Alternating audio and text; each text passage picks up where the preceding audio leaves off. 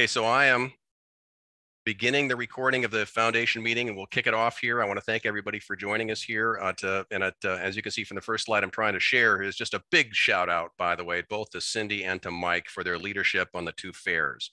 We're going to talk more about the fairs here as we come into it in the presentation, but I just wanted to salute both of you for the tremendous work in organizing and planning and, it, uh, and executing on uh, both events which as we all know right you know i mean this is a this is you know we, we, expose ourselves to thousands of people during these fair events. So this is a as a visibility for the master gardener program and for our foundation in particular it's a huge you know huge win. So congratulations. So here we are today. We've got a full day and it, uh, a full day of things to do. And um, this is um, not the complete um, agenda here but it uh, because we're going to run through it um, in fact, this is uh, last year's, uh, last month's. Uh, I'll, I'll get to that agenda here later on. so, but I tell you what, the first thing I want to get to here is this, that the birthday is pretty slim. This is the slimmest birthday month of the foundation. I just want you to know, right? You know, so, so whatever, none of your forebears, none of your parents, right, were doing much, right, nine months ago. Apparently, this is just this is there's a there's a there's a clear lesson here. Only Heidi and Anita, right, have birthdays here. But I tell you, of course, the big event coming up um, this Saturday, this Saturday, of course, the picnic at Terry's. And it uh, details were in the e-news of this past Friday. Uh, but a reminder here, it's this Saturday, kicks off at 1130. It's a potluck, right? So all we have to bring, there's going to be a barbecue chicken as well as um, uh, plenty of beverages. Uh, but everybody's asked to bring a potluck to share, right? Potluck to share. This is at Terry's, you know, it's 112 Rustmeyer Road, you know, off of Highway 105, about nine or 10 miles south of Aberdeen. So 11:30 this Saturday. Reach out to myself or Terry if there's questions, and it uh, we'll pick it up from there. So to that point, um, also wanted to remind everybody of a lot of dates that were published in the e-news this week. So in this Friday's email, John and Katie put together a lot of stuff that's happening. We got clinics, we got study group, um, you know, we've got, um, uh, you know, there's all kinds of opportunities for volunteer hours throughout the month. So a quick shout out to uh, to uh, to check out the e-news for those details. Okay also wanted to, to uh, kick off the day with uh, some very sad news, of course, is that uh, as we uh, we've lost both Don and Reggie over the past six weeks, and it um, this is a uh, this is very sad news, right? You know, because um, uh, both Don and Reggie had tremendous attitudes and were tremendous contributors, and it their enthusiasm and their fun you know, and just being with us all was it will will be sorely missed, and I mean that very genuinely.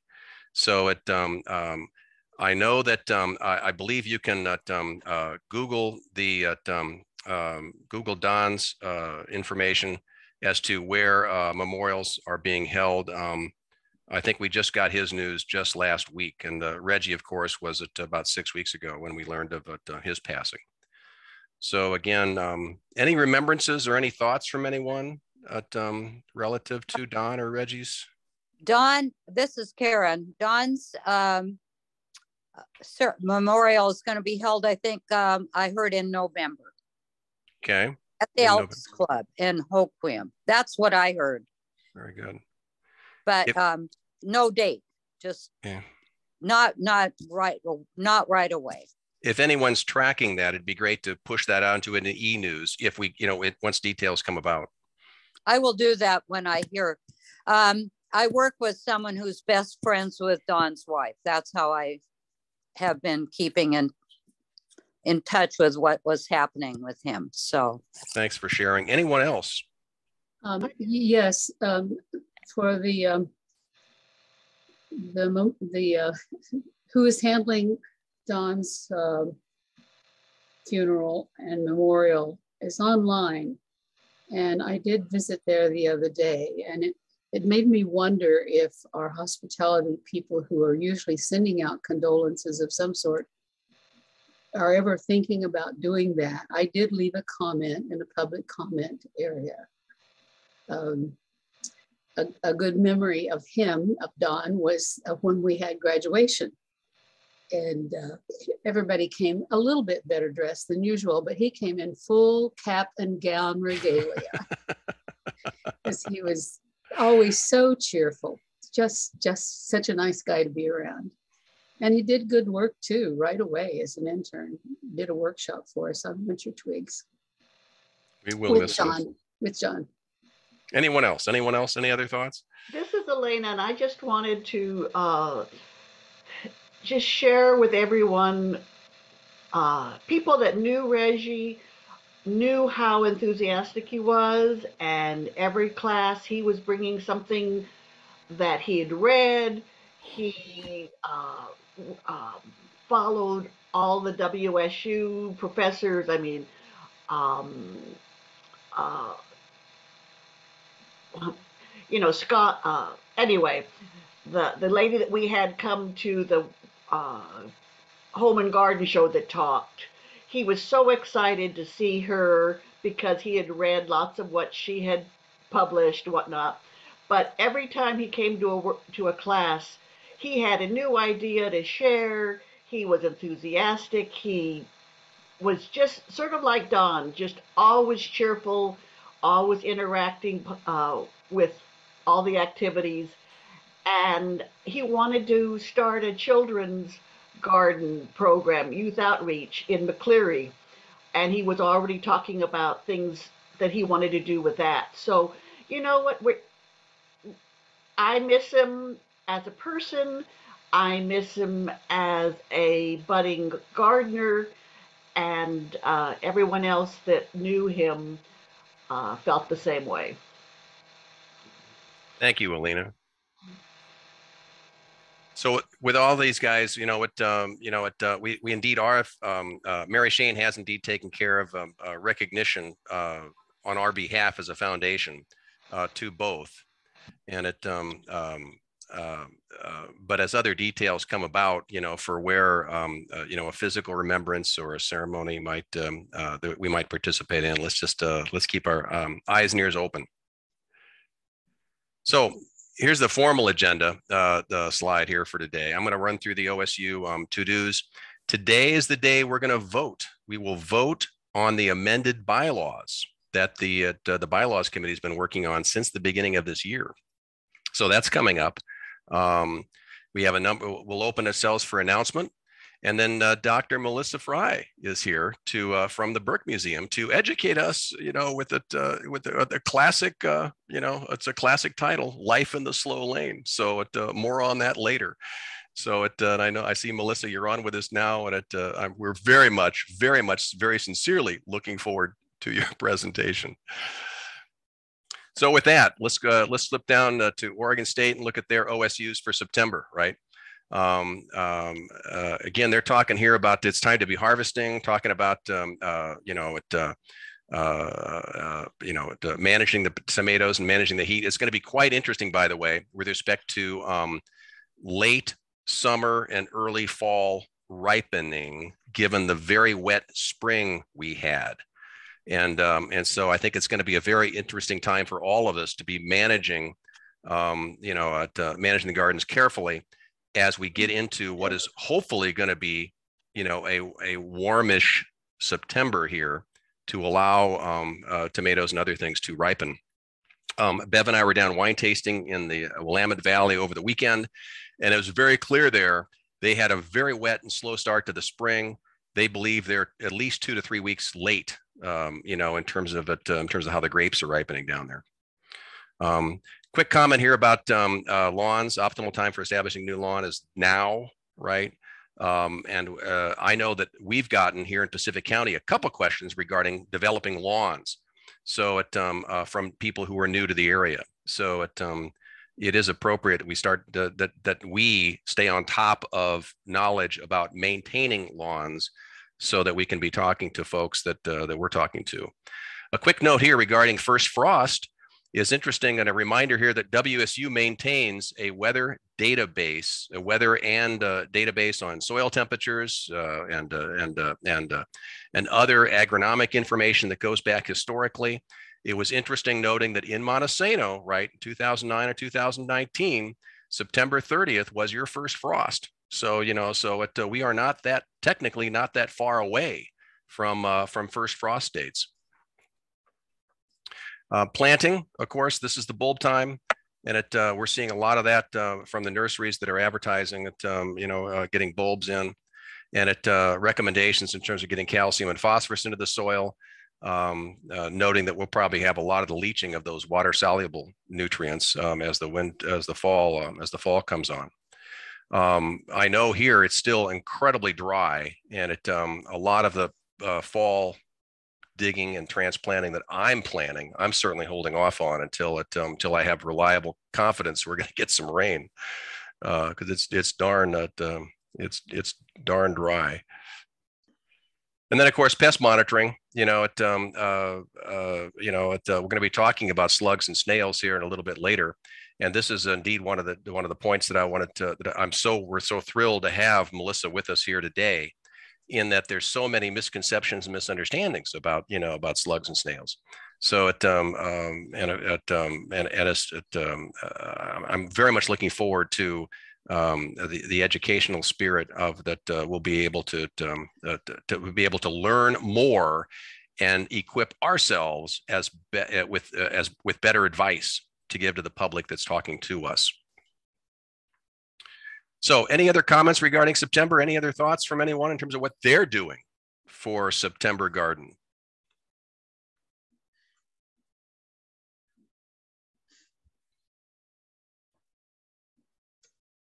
Okay, no worries. So, a quick reminder here. So, at um, Tony, of course, is our WSU liaison educator. Alina and Brenda are our coordinators. Um, you know, uh, we are coming here together today as master gardeners who are uh, um, who uh, who adhere to the program and the uh, the learning uh, responsibilities and uh, obligations of the program as administered by WSU. We um, gather as a corporation as a foundation. So we are a nonprofit uh, foundation reminder, you know, who per our bylaws, right, have three main purposes, right? We educate and inform our communities on horticulture and gardening uh, we fundraise right to uh, to enjoy uh, to to to fuel the programs that we support. And we come together as a community here of uh, to learn and to to, uh, to, uh, to, to learn increase and expand our knowledge base. To that point then is that the elected board of the foundation is on the slide you're seeing here today. Pj is our president. Our president elect is sabine. The rest of the officers you know and are published here Pacific County and North Beach um, will select, uh, they select their own leaders, their own directors of those geographic communities. Um, and that leads us then to the thoughts about um, next year's board, because as a reminder, per our bylaws, at our October meeting, so on our October 11th meeting, we will vote on officers for 2023. And a salute here to Elizabeth and the entire nominating committee that have spent several months now uh, making sure that we've got a slate of candidates for 2023 that's going to be appropriate for the work that we have uh, going on. Um, Sabine, of course, as the president elect, will automatically um, um, elevate to the president role. We have an open slot for the president elect. And it, uh, Katie put out an email to the entire membership um, last week um, asking for interest and thoughts on that. Um, you also can see that we have, a, a you know, a, for the other, uh, many, the, most of the other roles, you have the incumbents that are uh, uh willing and eager to serve again in 2023 in those roles. We have an interesting um, uh, conundrum uh, I wouldn't say a conundrum with respect to public outreach and education. Those two directorships we likely uh, we likely, I say this, will uh, will um, uh, forego uh, because we, uh, per the new bylaws, we are going to create a new directorship for the Greater Grays Harbor area and the Greater Grays Harbor constituency in that uh, in that area, they will select their own director. They will select their director, and it is presumed, based upon the discussions that went into the uh, Grays Harbor directorship uh, uh discussion, that the responsibilities currently being managed by the public outreach and the education directors will be subsumed into that Grays Harbor uh, um, engagement. Sabine, do you want to add and compliment I would like? I would like to thank you so much, um, Kelly. I would like to add two things. First, I want to absolutely thank Elizabeth for stepping up to the plate uh, with the election committee. Um, because as we had some conversations uh, in the course of it, we found out that I should have chaired that. Uh, there hadn't been a president elect in, I believe, 10 years. And so it was all new to us. And when we came to the job description and found out that I should have chaired it, um, Elizabeth had already done the work. So thank you to Elizabeth and to the committee. The second thing I want to say is president-elect. Uh, there hasn't been a president-elect, it is my understanding, for 10 years. Uh, it may, and I'm pretty much stepping into new territory, if I may say so. And it has been quite new, and I'm still uh, trying to get my bearings. I want to let the person know who may consider being a president elect um, when I'm president, now going through this uh, process of being the elect person and having to learn a lot of things and kind of finding my way.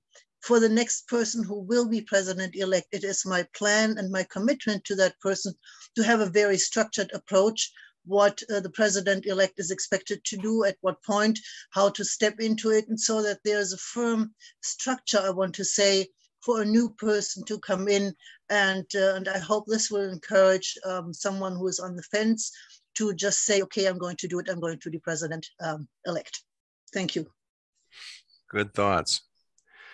So anyone here on the anyone here in the call that um, uh, want to add other thoughts here? Um, Cindy, in particular, are there any thoughts regarding the Grays Harbor directorship position or any comments regarding, because you've been, you and your team have been spending quite a bit of time thinking about that role and thinking about the program.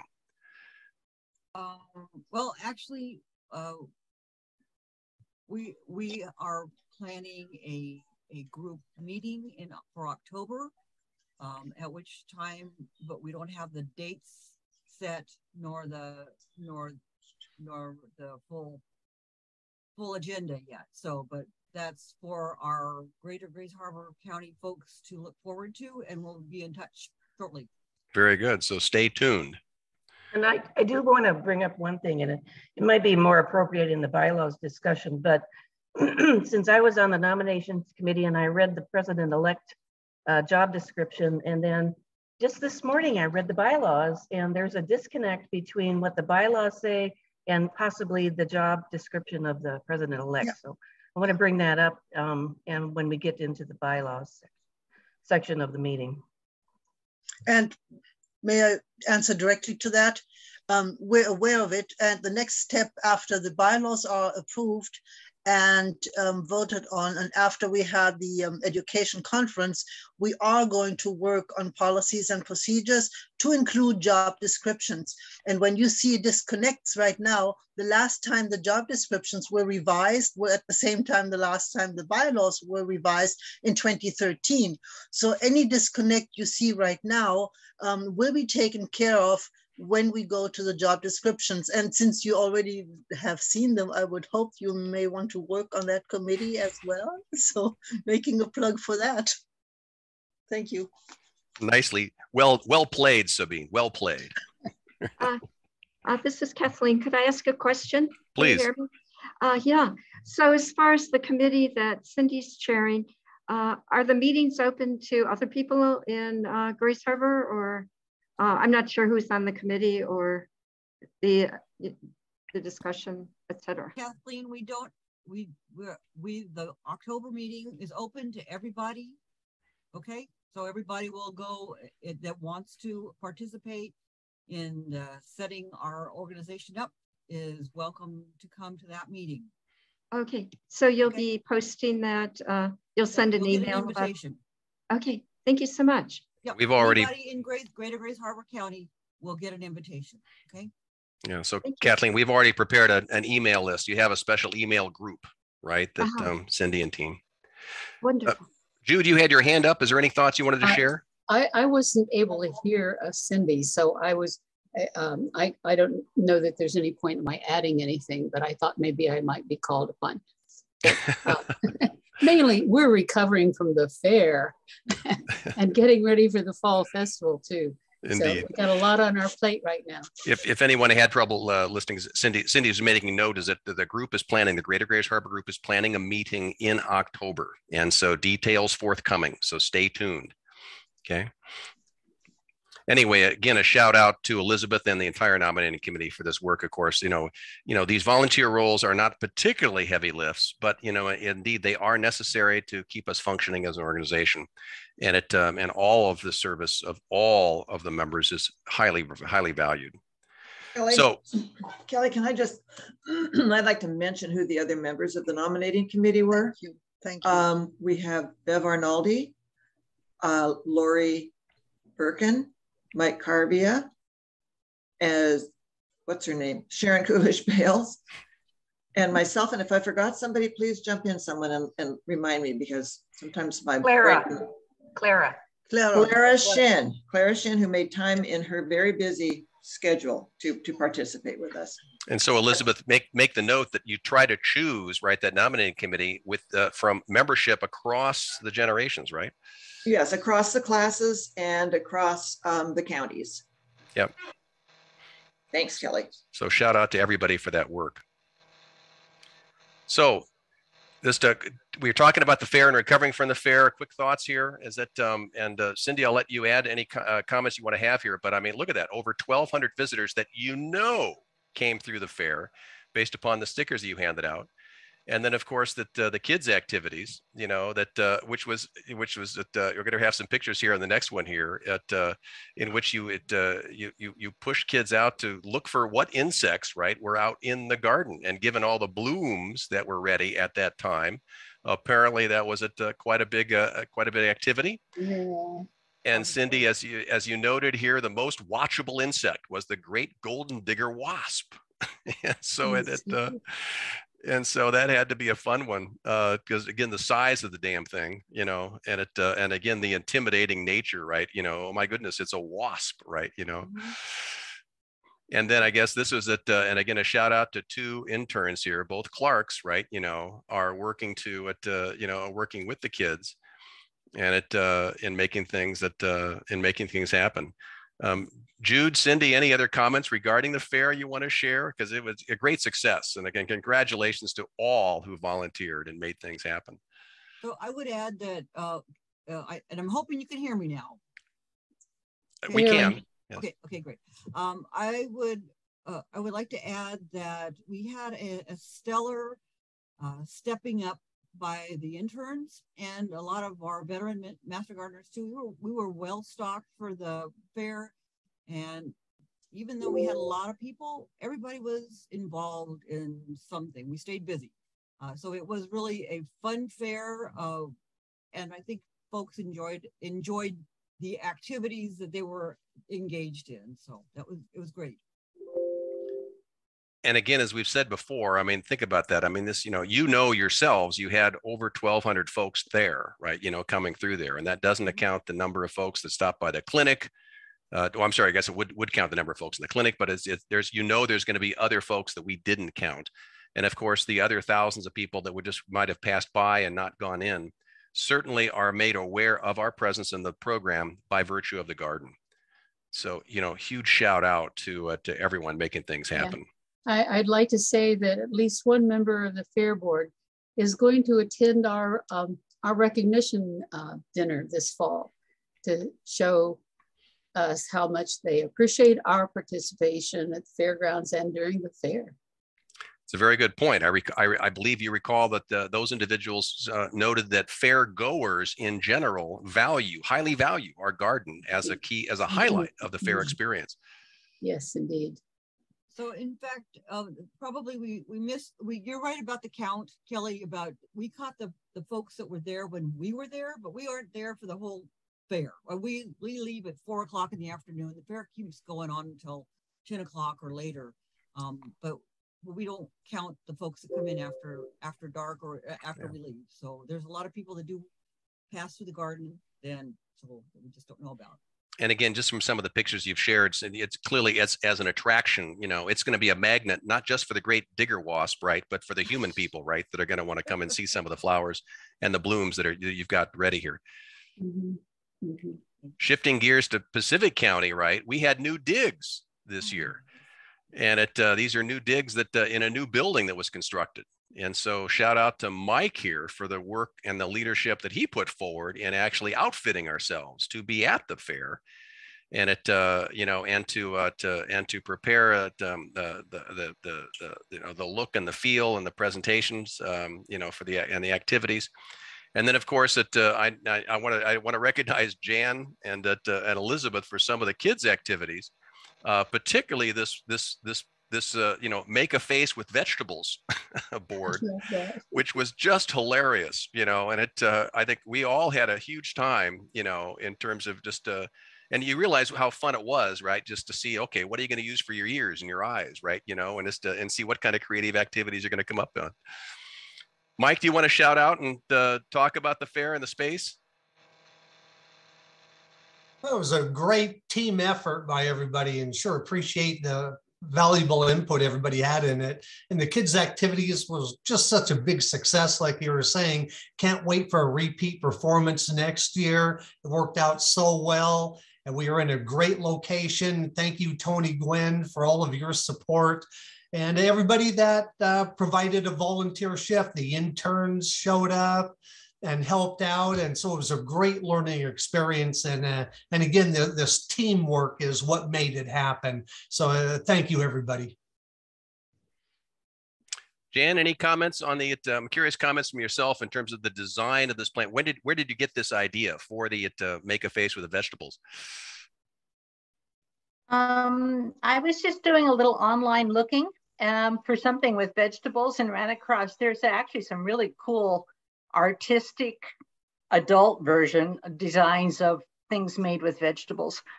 Um, much more extensive than this. And I thought, hey, we need something fun because there was no carnival. So yeah. we were looking for something that would be silly fun that would be that would brought, pull the kids in. And that's where this came from. Um, my neighbor, two of my neighbors built the frame for it, and it's just a metal sheet that slides out. So we could certainly use this for other purposes if we wanted to use it even as a signboard for future. Um, because of um, my knee, I didn't get it finished. And I thought, okay, when it comes back from the fair, I'll finish it. Well, um, it's currently at the library in Ilwaco, and it is possibly going to be a traveling exhibit, is what I was told. So it, it the um, use of this extends well beyond what we intended at the fair. And then you just basically you you got these plastic vegetables and affixed magnets glued magnets to them right? That's all it is. So super a, simple. I a, mean read all of that is readily available. And yeah i just glued um, it's actually the soft magnet tape um, which it turns out isn't quite strong enough for some of the heavier vegetables was the feedback i got so um, I have ordered some actual disc magnets. Then, well, if if it ever gets back to me, I'll replace some of the magnets. the, uh, the, the the comment I want to make here is, is I found I found this to be an interesting exercise that was just intuitive for the kids. That there, there was there was virtually no instruction needed. You know, so just hey, draw a face with vegetables, and they went to it. So it was incredibly intuitive in terms of how they took to it. Anyway, I'm shout out. Glad Mike. they had fun.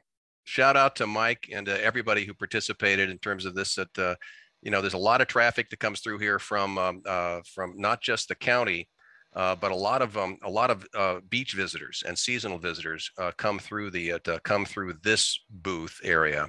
So we see a lot of people from the Seattle area, a lot of people from the Portland area who have vacation homes out at the beach, and it, are visiting.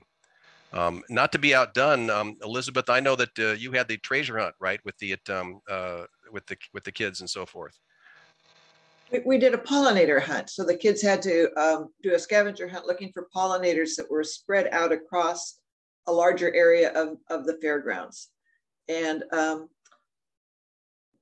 they did very well. And thanks to Jan who helped support that project too. But yeah, it was it was fun and and the, the issue with you know we don't we don't have the kids captured in one area for long periods of time so it was was find something fun for them to do that was relevant And I loved the backdrop that Mike put behind our section of the kids section of the, uh, the booth because it definitely relates to pollinators. So lots of learning and lots of it um, and lots of engagement with the people that came through. So shout out to, uh, to everybody that made it happen. So at uh, relative to more education for adults, right? You know, coming up in just a week and a half, right? You know, is our state conference. So reminder that the um, the state conference is coming up on the 28th through October 1st. Um, I haven't checked. I don't know, Karen, um, Kathleen. I mean, are there still spots open? I'm at. Um, at, uh, at might uh, uh, things might be closed at this point. Um, go ahead, Karen. Um, I'm not sure if if it's still open. I haven't heard anything about that. I'm on the awards committee and picked our awards. 28th, I'm going to. Uh, uh, oh, it is. Good. Thanks, Elena. It's uh, it's still open.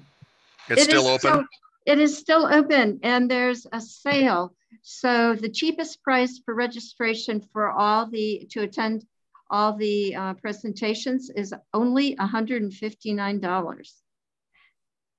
Okay, and, so we're we're doing an end of month fire sale here. Congratulations! Right, right. and the most uh, the most expensive uh, uh, cost would be 249, and that includes an evening reception and all meals.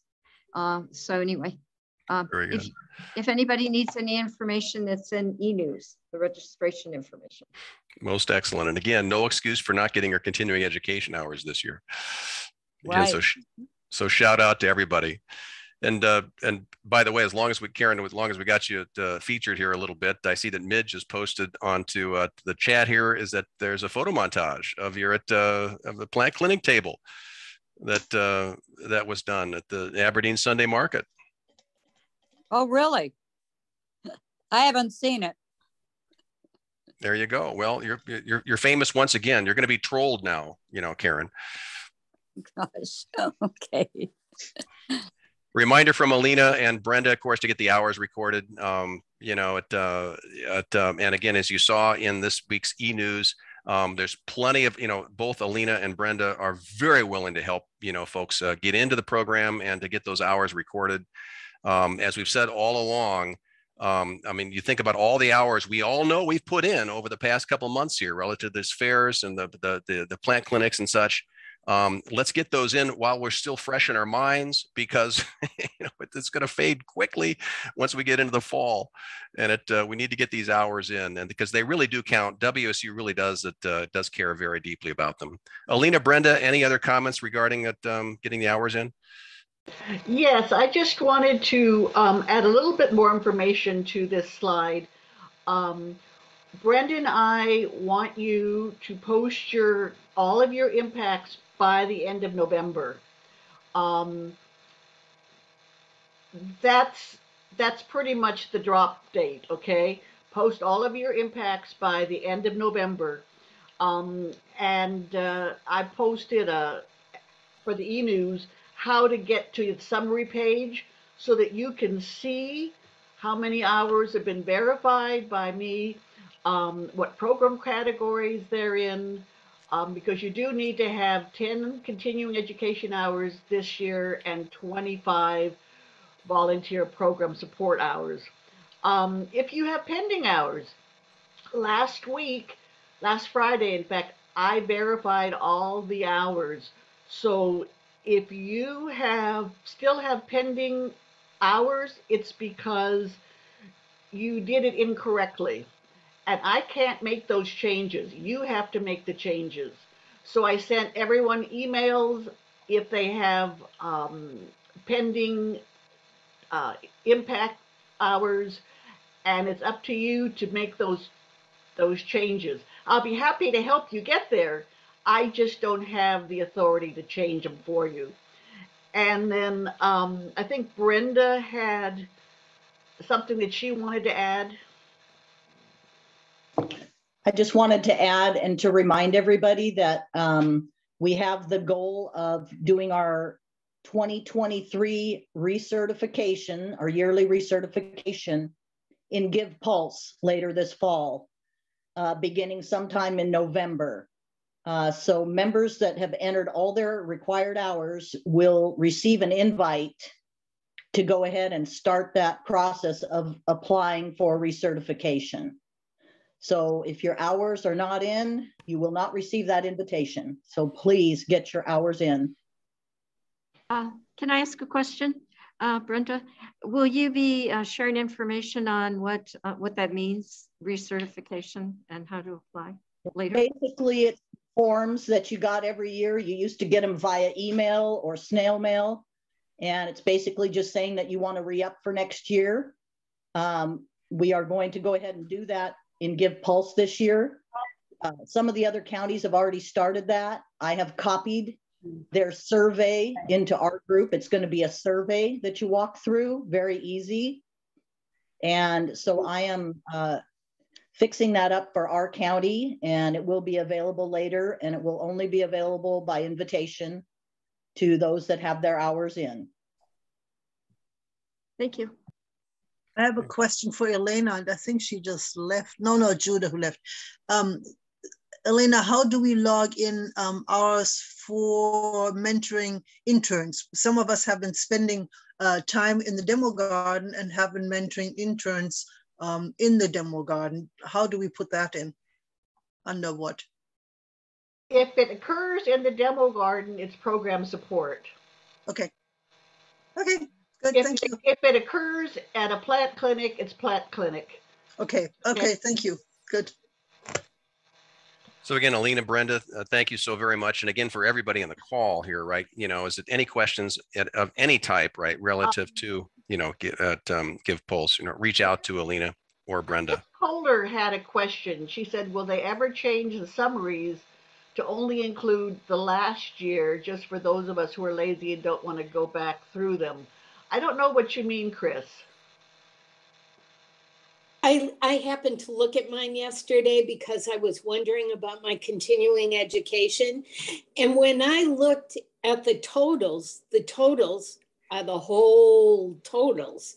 So I had to go back in and look at everything that said continuing education and the date it was put in to count up my continuing ed hours.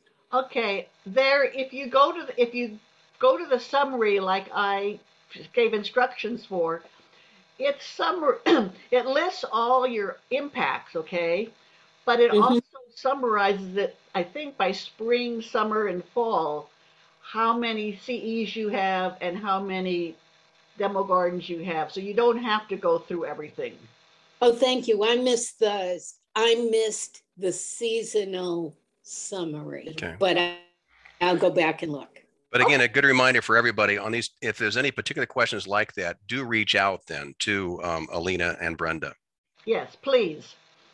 Okay, so uh, the big uh, moment here is it uh, is it's, it's time to vote, right? We talked about the bylaws in detail last month in um, in during our September meeting. Um, as as Sabine has indicated here today, you know, um, you know, the committee is ready to have a vote to approve or reject the amended bylaws.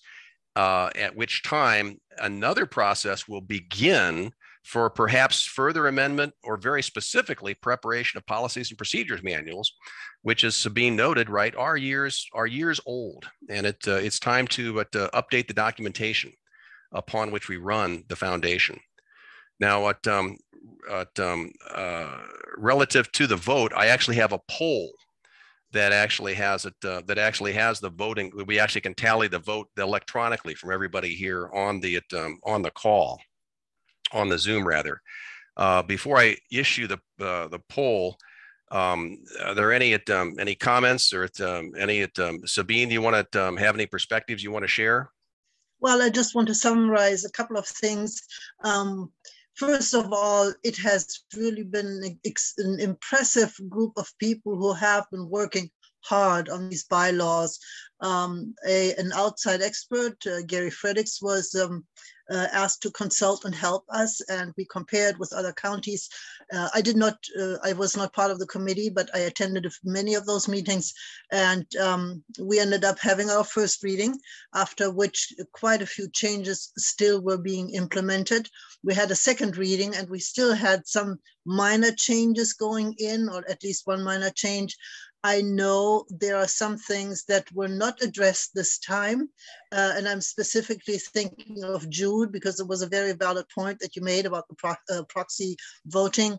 Uh, we will review uh, next year the bylaws again.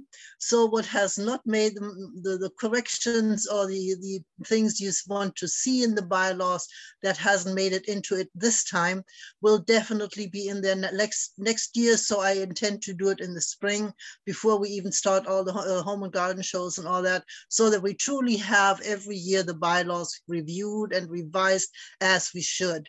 Um, again, as Kelly said, we are going to start the handbook for the manual for policies, procedures, and job descriptions. And when you see discrepancies right now, just like we have pointed out, that also will be uh, taken care of so that we go into revision and review next year for the bylaws. Those discrepancies will also be solved. So with this, today is the day to vote and I hope they will be voted in. So we have brand new current bylaws to, to work by. Thank you. With that, I've launched the, um, the poll uh, which in effect is a is a vote, if you will. So it uh, it's a single choice, you know, that you're allowed to make here. You can uh, vote to accept or to approve. You can vote to reject. Um, you can choose to abstain you know, and that's fine too. You know, that's just it's uh, there's no um there's no stress in terms of the the uh, um, um, the bylaws say that a quorum for these sorts of votes is the uh, is the whomever is, is here. So it um, you know it's not a uh, it's not a stress in terms of um, uh, okay. in terms of who all is here. Okay, thank you, Kelly. That's important to know. Yeah. So we'll leave it open for a little bit. It should be a simple uh, uh point and uh, point and and uh, and vote here. Um, there's a uh, question for you, Kelly. This is for this is about the bylaws, which refer to the foundation. So these are foundation members. Is that correct? That is correct. So foundation members. So I, I don't think Dr. Frey would be at uh, you know will be voting. and I'm not that uh, I'm not too concerned about uh, at, um, uh, at um, uh, uh, you know, corrupt voting practices. I think we can. Uh,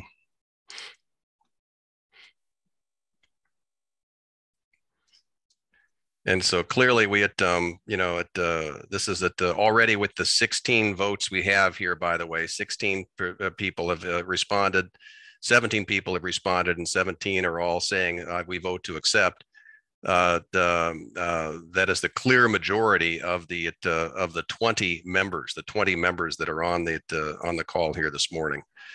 So it, um, you know, I'll leave it at I'll leave it at that, and I'll end the poll, and it, uh, you know, and we'll share the results, you know, and it. so you should be able to see that the full results here. And so the record can show is that um, here on September 13th, right? You know, uh, we have it, um, you know, 17 yes votes and one at uh, nay uh, vote. Um, you know, and out of the 20 folks that uh, are on the uh, on the call here, um, and uh, um, and just because I'm I actually am hosting the the call, I was not able to actually participate in the vote myself. So that would mean that there's just a there's really just one other person that didn't vote um, on the call here today. So Sabine, you've got it. You know, I think you've got your at um, you know, you've got your, we've got the, the, the bylaws approved here and, and ready to move. Like, yeah. May I, may I interrupt you? I'm so, I didn't mean to interrupt you. Um, no, we're good. We're good. Okay. All done. I want to thank you for the vote. I want to thank you for um, um, honoring the work that the committee did because it was hard work and it was at times quite tedious, I have to say. So I want to thank all of you for recognizing the work which was done by the committee to get us to the point to move forward with brand new uh, uh, revised bylaws and um, also for your trust that whatever may need still need to be changed will be done. We will take care of the things that may still um, uh, concern you And in the meantime, I truly appreciate you for your vote and for um, allowing all of us to move forward. Thank you. Very good. Now, another big discussion we're going to have at the at, um, at the board meeting following is a discussion about meetings, at, uh, about foundation meetings.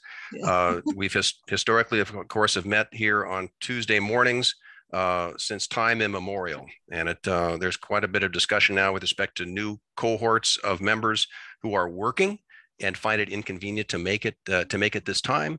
So it um, we want to keep continuing uh, the discussion regarding uh, when and where and how we might want to continue to meet. So that discussion will pick up at our board meeting. It'll be forthcoming, and it um, you know I wanted to uh, it uh, lead quickly then into the, the the the key part of today's presentation uh, with that you know with uh, you know with with with Melissa and it uh, and the presentation here on it uh, on life in the slow lane because it uh, this is of course Melissa I know one of the first questions we're going to be asking is your backstory. I mean how does anyone you know how does anyone get interested in this you know enough to pursue this so that you actually do you know focus on this entire you know section of the zoological spectrum?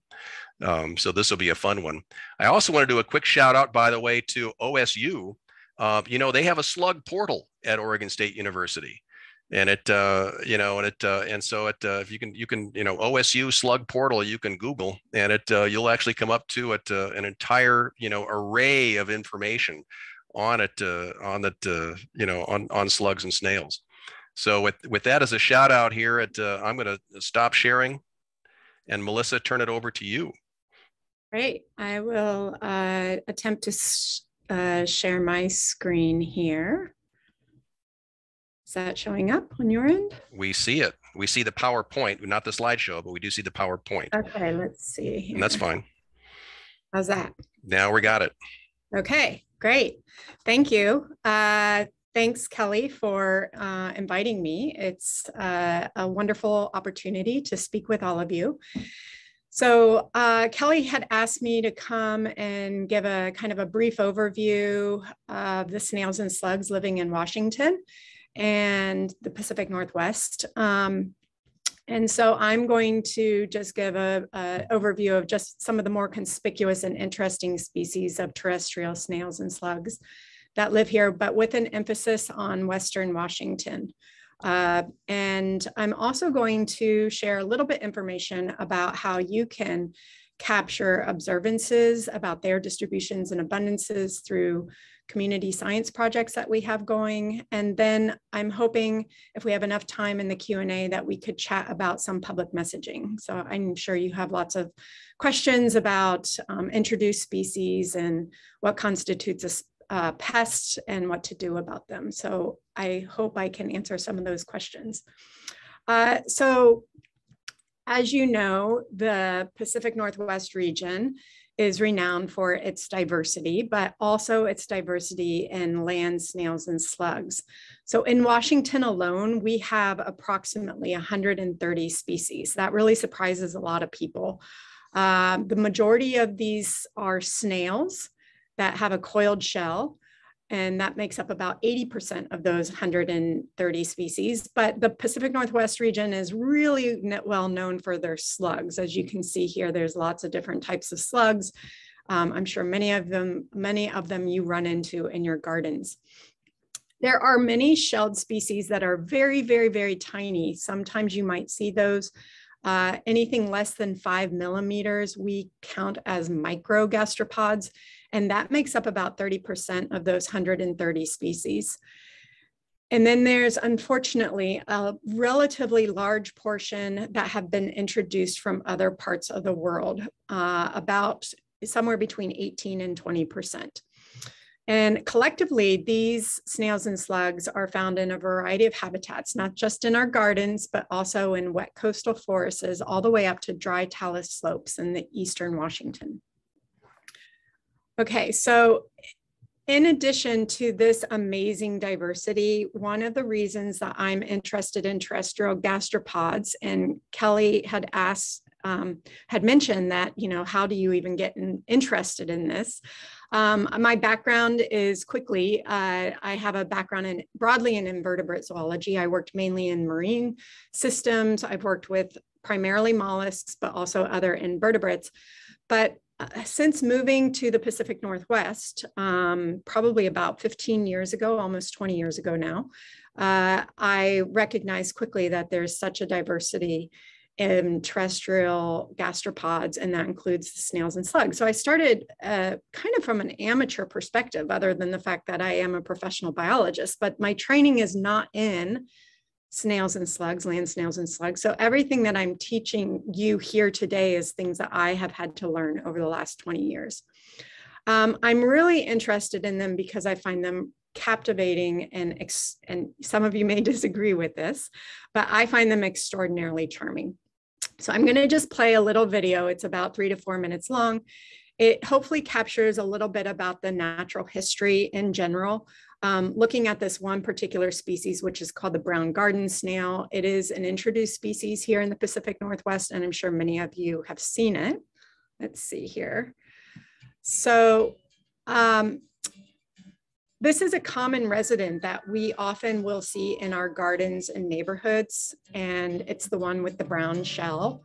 Uh, that has kind of some slight markings on it. This particular species does feed on plant material, so some of, the, some of you might actually not appreciate it. They have a radula, just like uh, the gastropods that live in the marine systems. They have a radula, which is like a long tongue that they use to feed. And they also use these retractable tentacles, both upper tentacles and lower tentacles, not just to see, they don't see images, they see um, light and, and shadows, but they use it to navigate their environment through chemo and touch. And they glide around in their foot. Uh, they produce a mucus trail. That's how they find each other. And one thing that's really interesting about these guys, or uh, I should say they're hermaphrodites, is that they're both male and female. Uh, they typically, though, do not self fertilize, but they rather copulate with each other. So they find another mate. And they spend hours uh, nipping, biting, and firing these things called love darts, which is really interesting. Uh, they spear each other with these little darts before the actual copulation event takes place.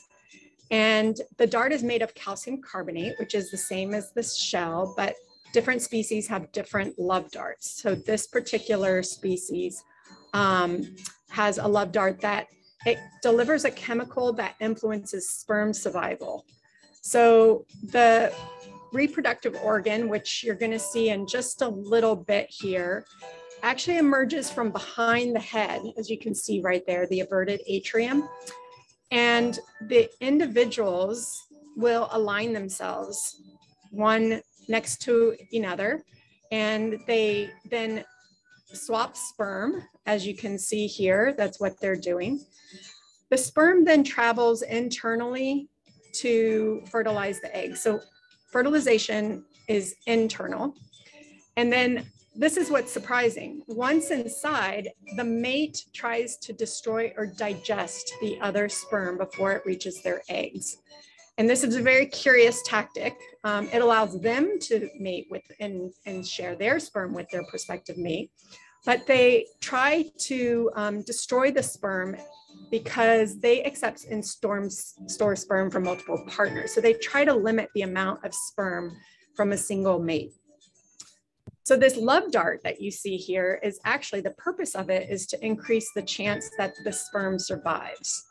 Uh, mates that successfully fire a love dart increases their chance of passing their genes on to the next generation. And once they successfully mate, they lay their eggs into the soil. And after a few weeks of development, these little tiny offspring hatch and then they emerge into the world.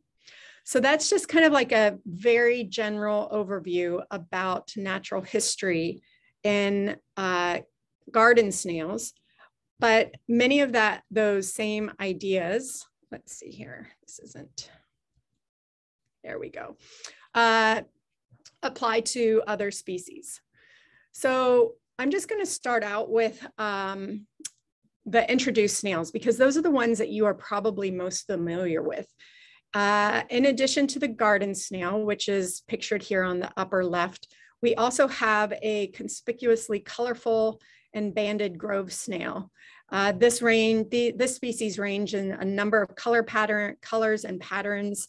And then we also have the smaller glass snails that are aptly named because you can actually see through their shells. These again are the ones that we find in typically in our backyards and in our gardens and in our neighborhoods, urban parks, but unfortunately we're also starting to see them in more remote areas. Like I mentioned, they're non-native.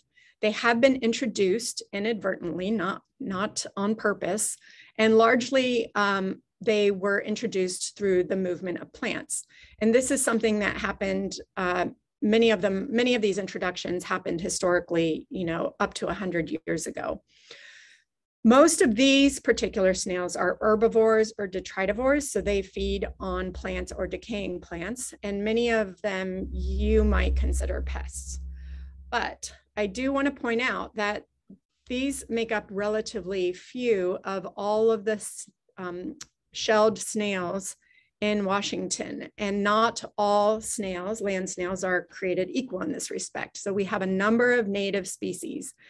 And once we get away from the urban areas and into the moist forest, we start to find these native species. So in the interest of time, I'm only going to focus on the most common species that live here in Western Washington.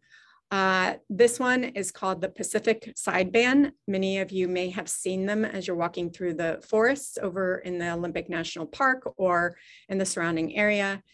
They are characterized by this unique band that runs along the side of their chocolate colored shell. And the other thing that's really interesting and unique about them is they have a very salmon, bright red salmon colored body. It's the largest native land snail in the Pacific Northwest. The shell gets to be about an inch and a half wide. And I used to live in British Columbia.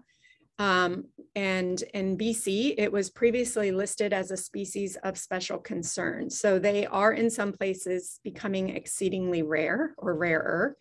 In Washington state, though, there is no protected status, and that's similar to all, all land snails. I'll talk a little bit more about that later on. This one is the Northwest Hesperian, which is quite common also in the forests of the Pacific Northwest, but many people overlook it because um, a lot of these animals are more active at night. Um, and so during the day, in order to find them, one of the best places to look is to look under things like logs and debris, woody debris and rocks.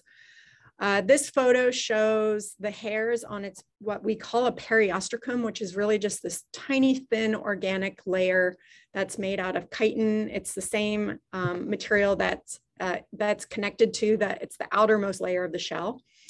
So this hairy periostracum is really what sets this species apart. There's uh, at least one other species, uh, Cryptomastix that also has a hairy periostracum, but it is not as common and the hairs are not as dense.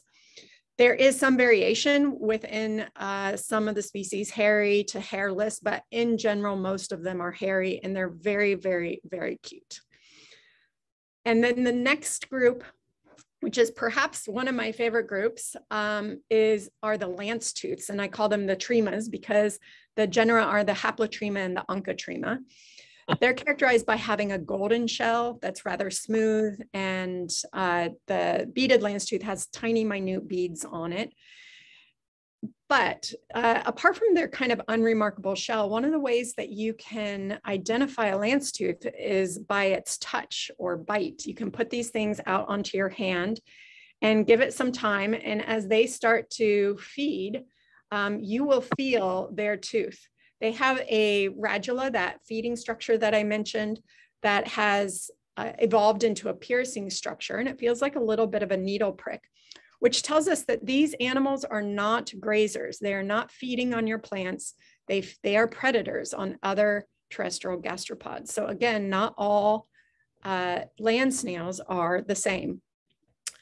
And then finally, uh, I'm just going to point out, this is called an Oregon forest snail. This has a big brown shell with a recurved lip on that outer lip, but the, uh, the periostracum can sometimes flake off as seen here, revealing a chalky white shell.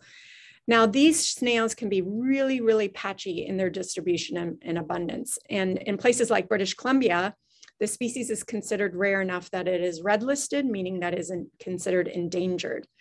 In Washington, where it is found, um, and that's particularly forests with big leaf maples that have springs and seeps and a lot of stinging nettle for its food. It really does seem to thrive.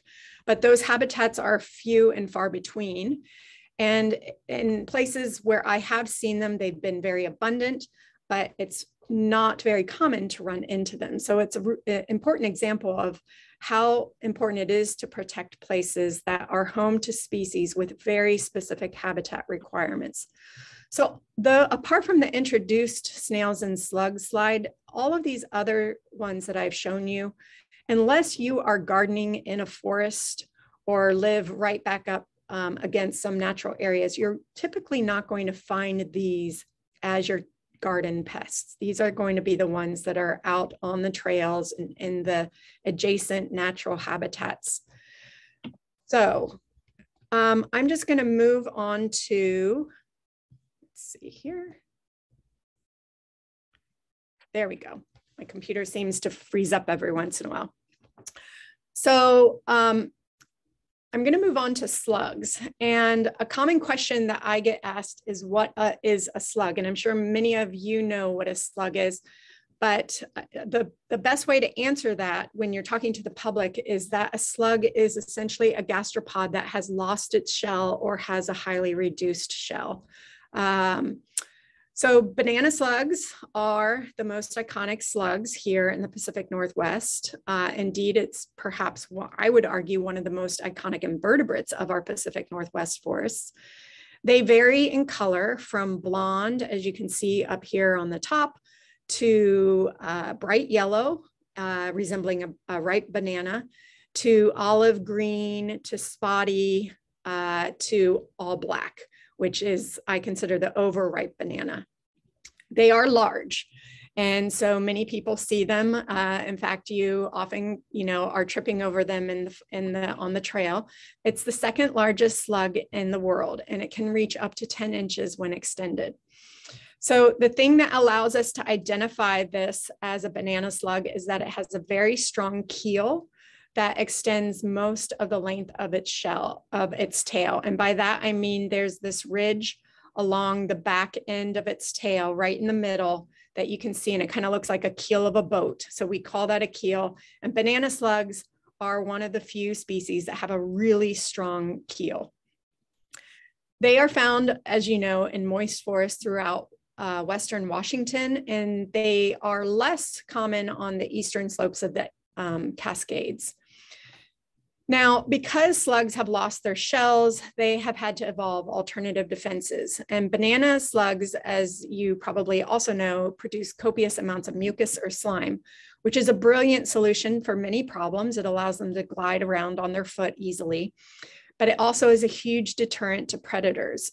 However, it's not fail proof. And as a result, uh, there are other slugs that have evolved additional defense mechanisms that are uh, endemic here to the Pacific Northwest. These are the tail droppers that some of you may have heard of. Uh, it, this entire genus, Prophysaon, is native to the Pacific Northwest. Now, what's interesting about these tail droppers is with, as the name implies, they're similar to reptiles or amphibians that can self-amputate. So they are remarkable for their ability to drop their tails when faced with a, a predator. Now, importantly, they can also regenerate their tail. As you can see here, um, I think in the third photo down, about half, about a third of the back end of the tail, you can see a slight constriction uh, line that was from a previous amputation, and then the animal has grown its tail back. The four most common species are the reticulate, the blue-gray, the yellow bordered, and the scarlet back tail dropper, although there's six species within Washington And one thing that I just want to point out is that the blue gray tail dropper is is very difficult to find. I've actually never seen it in Washington. I've only seen it in British Columbia. And it was recently listed in the past few years as a candidate for being listed as at risk in Washington state. Now, I'm not sure if that has eventually gone through. The second group that's uh, unique to the Pacific Northwest are the jumping slugs.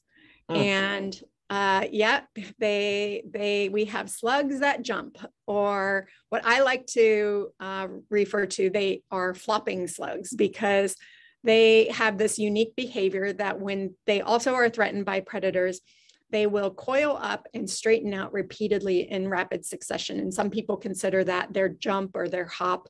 Um, it sometimes to me looks like a little bit of a flop. Uh, the idea here is that they are most likely trying to break the slime trail that the predator is following to detect them. The two most common species are the warty jumping slug, which is very, very small and has a has a relatively large papillose mantle here. You can see all the bumps on the mantle. They have a, it has a very short tail. And then the dromedary jumping slug, which is characterized by having a what we call a caudal horn at the tail, that the tip of its tail. There's actually four species in Washington.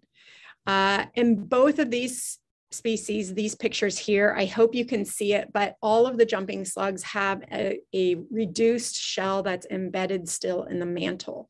And the mantle um, kind of um, envelopes that, that shell. Okay, and then finally, the introduced slugs, which make up a whopping 43% of all slug species in Washington. So these are the species that you are likely seeing around your neighborhoods, in your garden, in urban parks, in urban areas. But increasingly, we are starting to see them in more remote areas too, which is interesting. So I've only picked out the most common. There's actually, I believe, 12 uh, or 13, 12 species of introduced slug here in Washington state. The top two, the leopard slug and the yellow slug, look very similar to each other. Uh, they both have are characterized by having these spots um, on their mantle and along their tail. But one of the things that allows you to identify one versus the other is the color of the tentacles. You can see in the leopard slug, they have a reddish head and red tentacles, whereas in the yellow slugs, they have kind of a steely blue head with bluish tentacles. The next group is the Arions, and that is the genus Arion. Those are the, um, there's many species of Arions that have been introduced here. They can be very difficult to tell apart. I always refer to a key. There are six species in Washington, including this chocolate or black Arion. There's actually two species that have been introduced. You cannot tell them apart unless you dissect them. Uh, and um, those are the ones that we're starting to see in remote areas, like, you know, up the, the trail that leads up the Hoh River Valley, um, which brings up an important question about how they, they are getting dispersed. Um, the one thing that is interesting about them is that they, let's see, they can sometimes be confused with a black, the black Arions can be confused with a black banana slug. But again, remember about that keel and the banana slug, Arions don't have a keel. What they do have are these uneven tubercles that, uh, that you can see on that run along their tail. The next group is the Deroceras. There's about three or four species. One is actually native to the Pacific Northwest, the meadow slug. The other ones are introduced. They are characterized by having a concentric folds that run along their mantle. It looks almost like a fingerprint. Uh, and you can see that here in the leftmost picture. And then finally, uh, we have the um, shelled slug, which is interesting because you hardly ever see it. In fact, I've only seen two in my entire life. They live subterranean, they feed on earthworms, and they too have a highly reduced shell that just is at the very, very top tip of their um, end of their tail. every once in a while, they will come out. Sometimes after a heavy rain, they will emerge, and people sometimes find them. And they're so striking in their color. They're bright yellow often, um, or bright white. And so people report them. Again, they don't feed on your garden, they feed on earthworms, though. Then there's two species that I haven't shown here that are more recently introduced, the Ambigolimax, which is called the three-banded garden slug. Here in Seattle, I have seen a real um, explosion in their populations, at least in my neighborhood. Uh, a couple years ago, I never saw this species, and now my entire garden is filled up with them. And then there's also something called a worm slug, which also is subterranean and lives underground also not found typically in gardens, but is found um, becoming more increasingly common in and around Seattle. And we are actually just publishing a paper now about the worm slug um, in Washington state. So in general, uh, I would say that slugs live very similar lives as the snails, with the exception of some of the distinctive defensive strategies that I talked about. But they also have elaborate courtship behaviors that rival those love darts that we saw in the snails. Now, I failed to mention that one of the, in, in, certain species of the banana slugs, which is, this is one of the um, interesting aspects of their natural history, is that they practice a, a apophallation, which is the act of biting off the penis of their mate following copulation. and I'm happy to answer the question, uh, answer why that is, but I wanted to um, go on and show you this video of another uh, slug, the leopard slug, which as I um, just pointed out in one of the previous slides, that this is one of the introduced slugs that's commonly found in the Pacific Northwest, and it might be something that you see regularly in your neighborhoods. So um, this is just a short video showing the, the copulation behavior.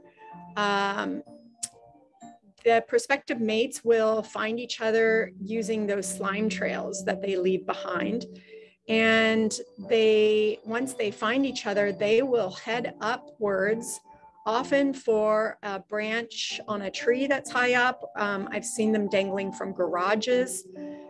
The prospective mates um, will entwine themselves and wind themselves around each other and this can continue for quite some time. Eventually they slide down a, a thread of mucus as you can see here, and dangle from that thread of mucus. And they continue to dangle until they are ready to evert their reproductive organs. Again, it comes right out from behind their heads. And as the organs grow longer and longer, and it, sometimes they, the organs themselves can reach the um, length of their entire body. And then those reproductive organs will start to entwine and fan out until they are ready to transfer sperm from one mate to another. So this happens um, again over the course of, uh, it, can, it can take place over the course of hours and it happens at night. So you have to be outside at nighttime looking for these things. Hey. It does get reported from time to time. Hi. Um, it's not because and so they will they will mate and then once they are finished mating they will retract their reproductive organs. And then simply go plunk and fall to the ground. So that's just the last um, bit of let's see here uh, overview of the snails and slugs. And I just wanted to, let's see, how are we doing on time?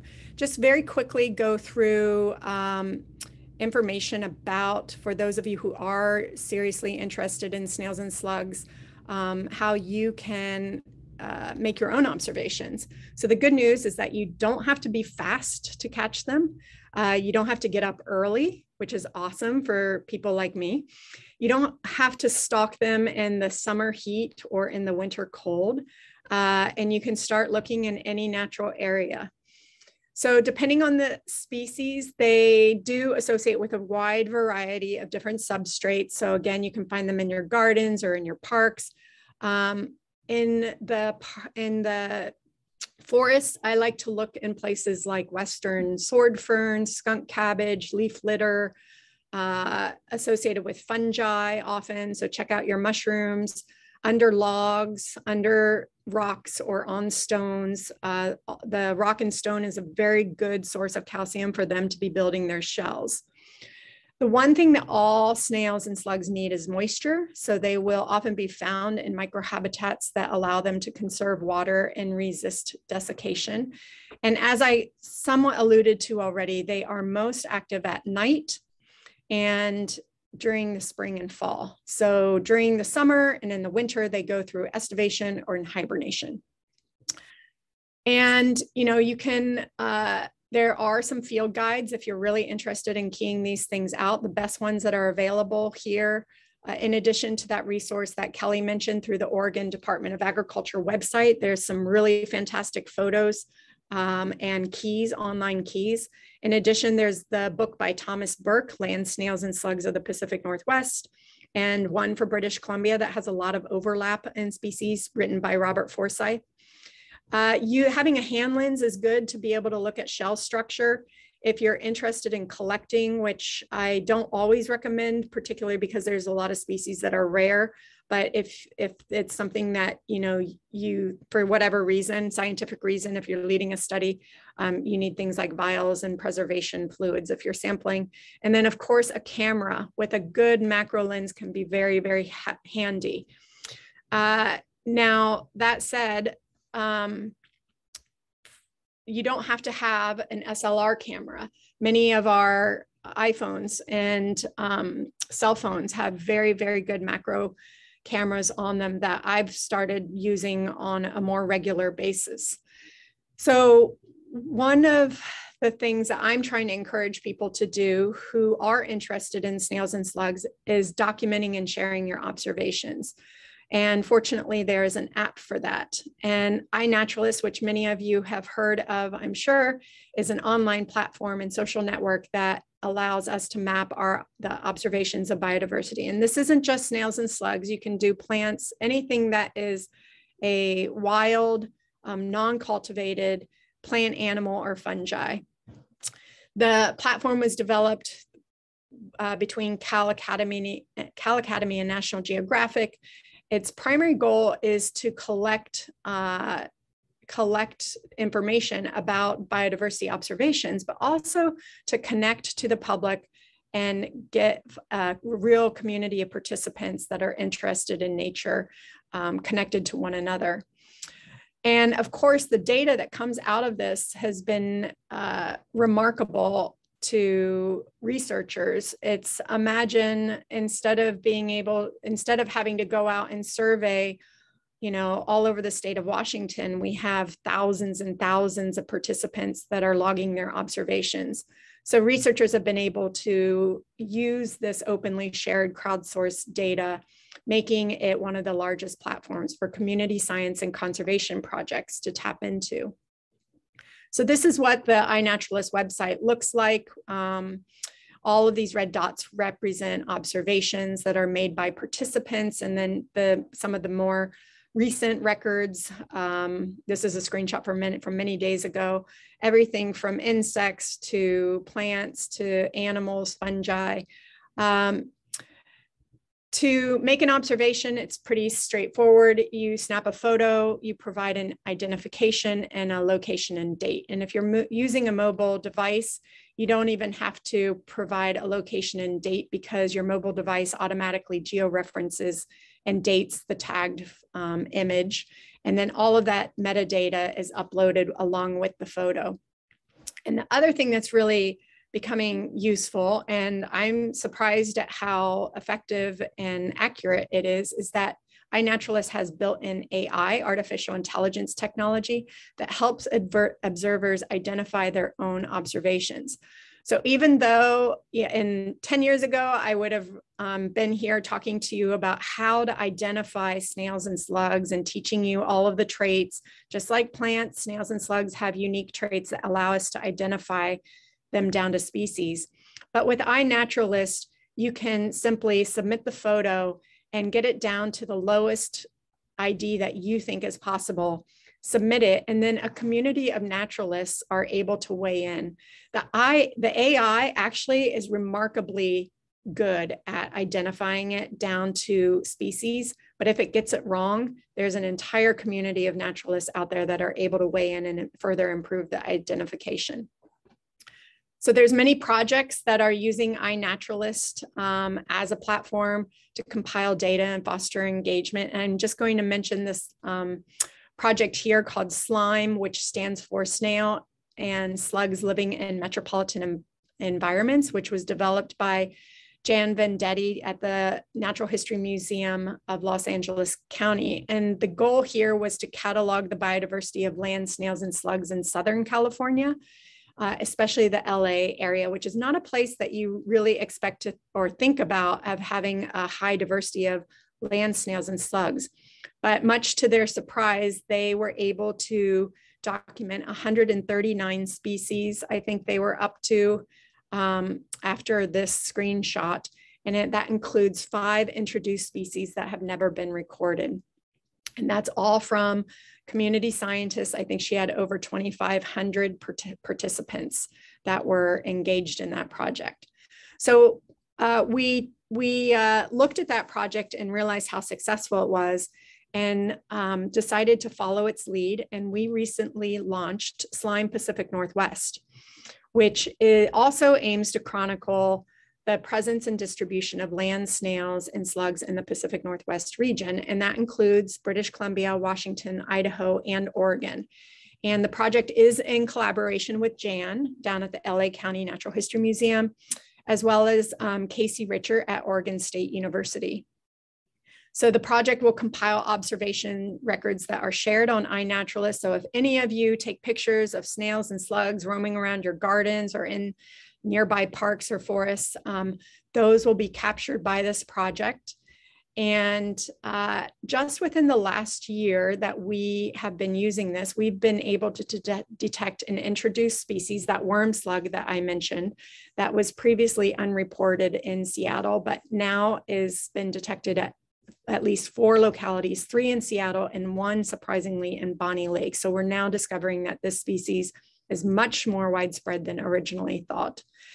And the goal here is that overall, um, after some time, we hope that we'll have a much better idea of which species are present in the region to track the arrival of new introduced species, um, get a better idea of the distribution of each species, look at range movements, um, understand relative abundances, what's rare, what's common, and then even think about habitat associations. So how can you get involved? Um, if you're interested, you can obviously join iNaturalist. If you haven't already, you can join for free.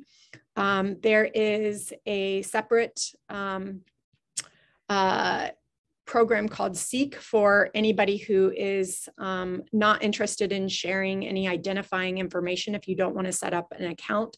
It's also really good to get kids involved using the Seek app um, because there are no identifying, um, uh, you don't have to have an account and, and you can just use it and go around and take pictures and the AI, AI will help you identify it. And again, even if you don't want to do snails and slugs, that's fine. You know, you can walk around um, your neighborhood or your forest and, and take pictures of plants. Um, and then once, if you have joined iNaturalist, you can join the slime project. Uh, and let's see, how do you, either by um, clicking on the site, this link down below, or the other option is to go to the tab in iNaturalist that's above says that says community and scroll down to projects and then type in slime Pacific Northwest. and then just uh, click on that page and then you can become a member, add yourself as a member. And then finally, I, I haven't talked much about the new Burke, um, which is actually at this point, although it still feels new, is becoming the old Burke. Um, we opened in the fall of 2019. And of course, the pandemic um, changed our plans, but we have been open for the past few years.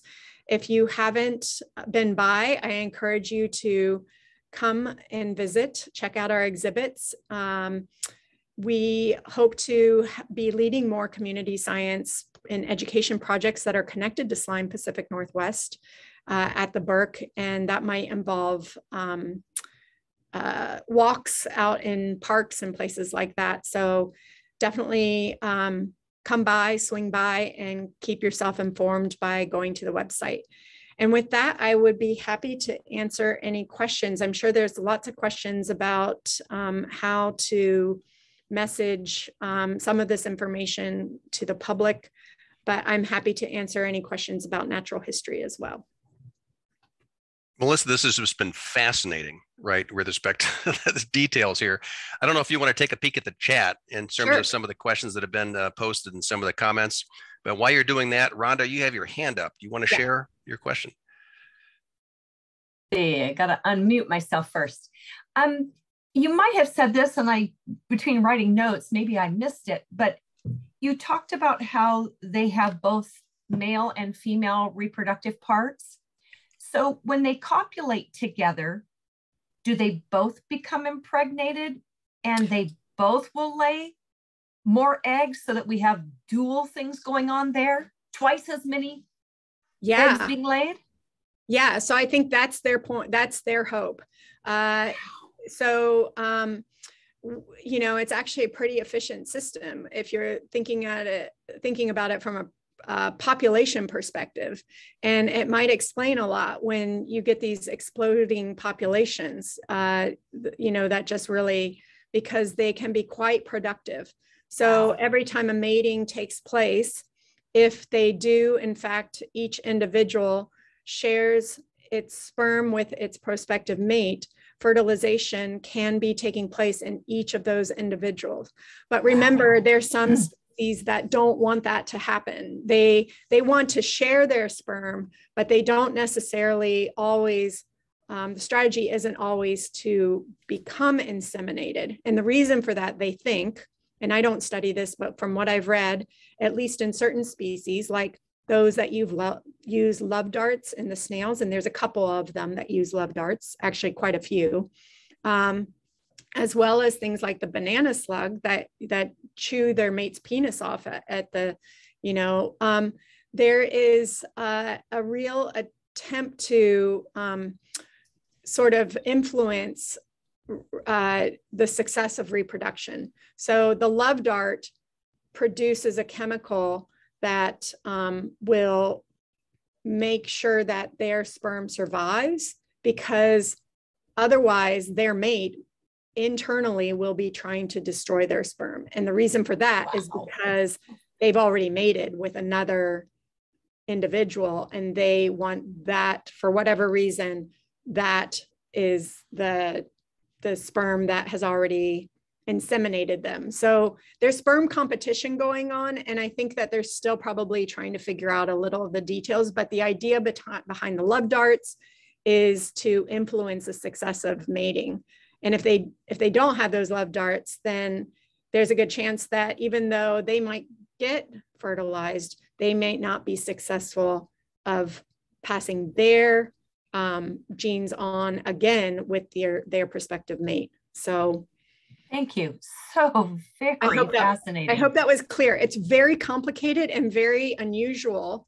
Um, and so it's sometimes hard to understand exactly what's going on. And it, like I said, researchers are still studying this and trying to understand the, the mechanics and the chemistry of it and the behavior um, and what gets selected for and selected against. So um, I'll run through the chat. Um, someone asked who gets credit for the name of Love Dart, and I do not know, but um, it's it you know they they look like darts for sure. And i think actually one time i read on i'm not so sure if this is true but um, there is some connection to cupid there. And so um, uh, it might have come from the the that whole cupid idea But but that really is a technical term, right? The love dart Yes, is the technical is term. that is the technical term if you said love dart to a someone who studies land snails they would know exactly what you were talking about and i mentioned you know i brought it up in the brown snail has love darts but so does the grove snail that other introduced species. And i was surprised to find out that the pacific sideband also produces love darts so even some of our native species has it. It's not confined to just certain groups or lineages. Um, there's it's it's common throughout uh, common enough throughout land snails and there's a real diversity in the type of darts you know like there was that picture that showed you all the different types of darts shapes and structures. Um, okay so should we be especially concerned about non-native species? Do they impact the ecosystem in especially noxious ways?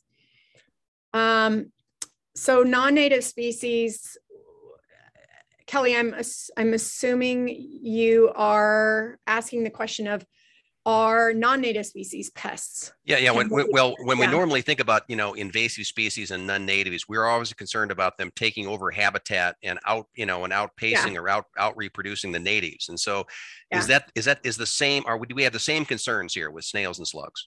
Yeah, so that's a really good question because there's a lot of discussion about, you know, what is the the term invasive? You know, invasive, we often use it synonymously with introduced, but there are native species that can be invasive, as many of you probably know that applies to certain plants.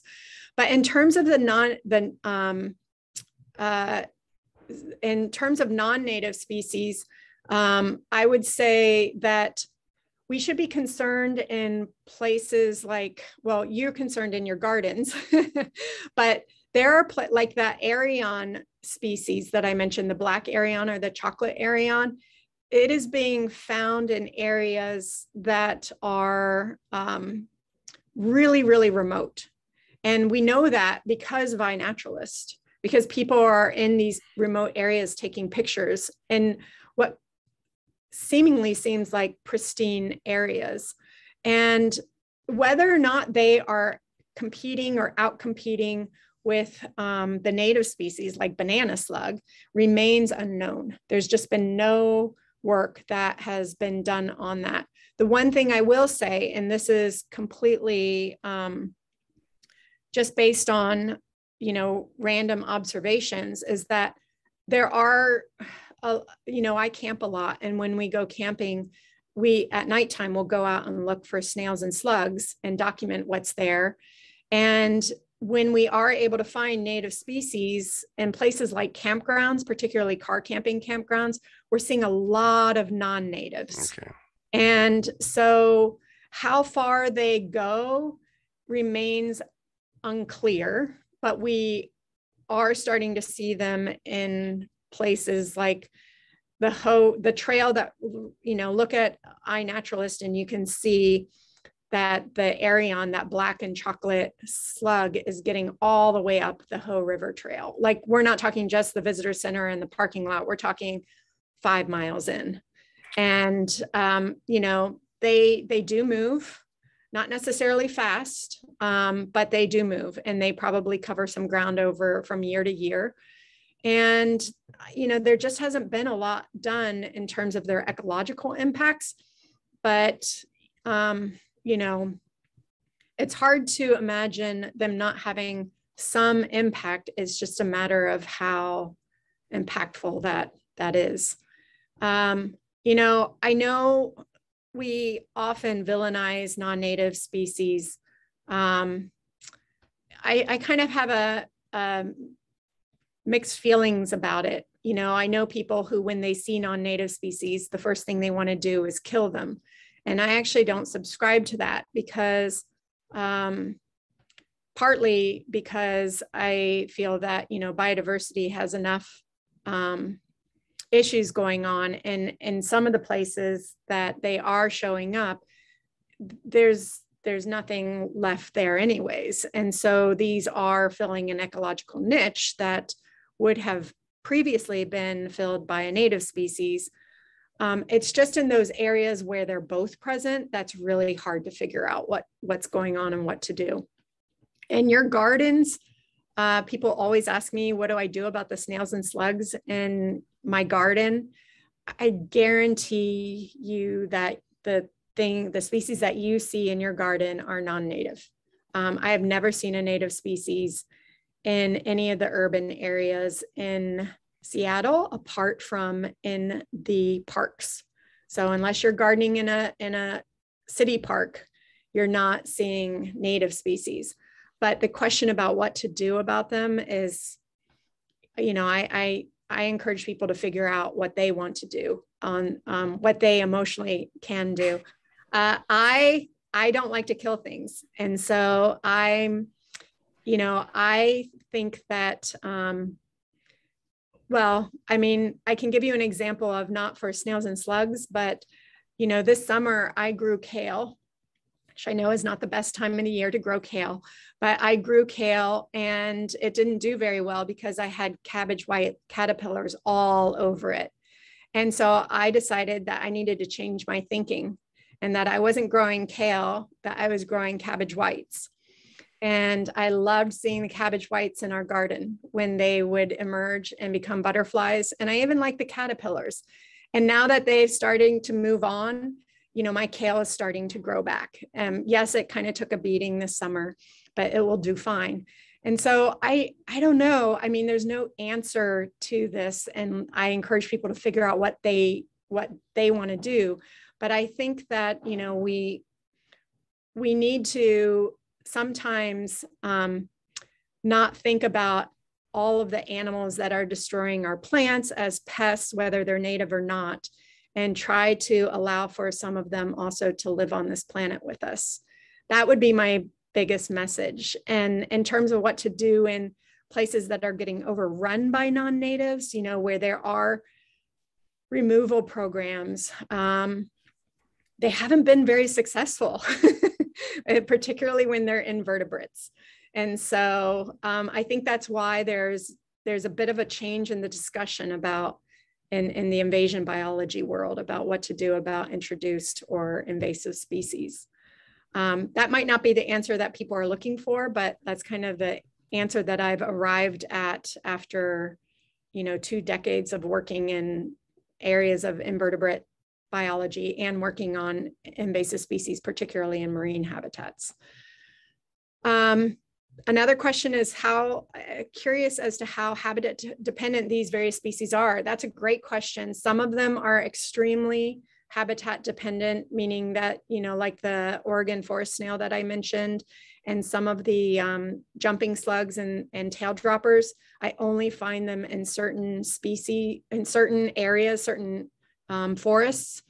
Uh, I mentioned the requirements for the Oregon forest snail. For the tail droppers and jumping slugs, I have found them, my best luck has been in really old forests. So over on the Olympic Peninsula, um, not just, um, you know, on in the Olympic National Forest, there have been places down near Quinault that I've been hiking through. And then all of a sudden I walked through a patch where all of a sudden it felt very moist and dark and I thought this look this is exactly the kind of place that a jumping slug would be found, and started to look for them and found um, the warty.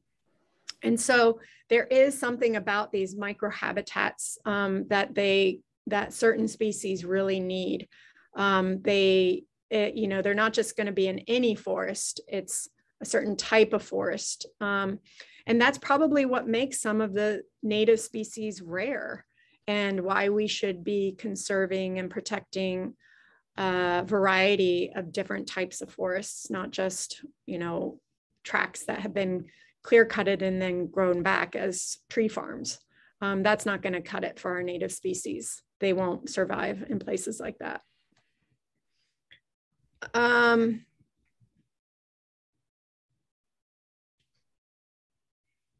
The 43% of all species being non-native, those are just for slugs, Kelly, just the, the slugs. Um, if you look at all of the gastropods in general for terrestrials, it's, it's 18%, but that 43% suggests that that's where most of like most of the non-natives are slugs.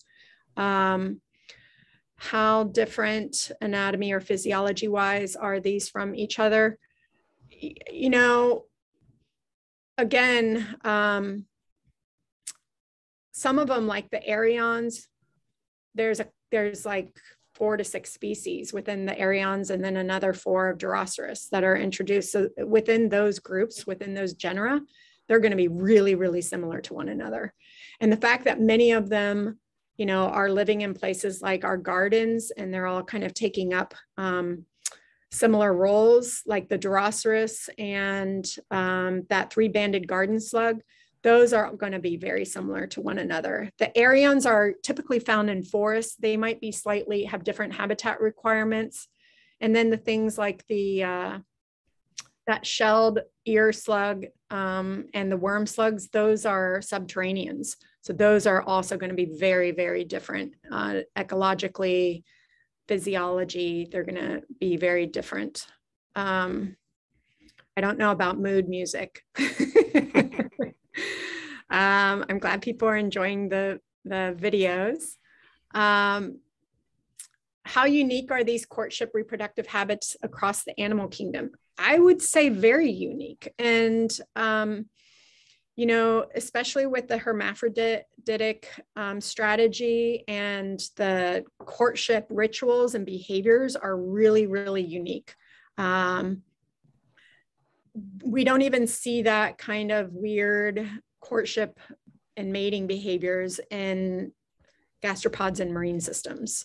Um, so I like to use these as a kind of an entry point to get people excited about how cool these animals are because they do something really unusual. Um, and it also dispels this myth that they're gross and icky and creepy. Um, some of these animals are doing absolutely beautiful uh, things and they're very cool and I want people to appreciate them as animals in their own right.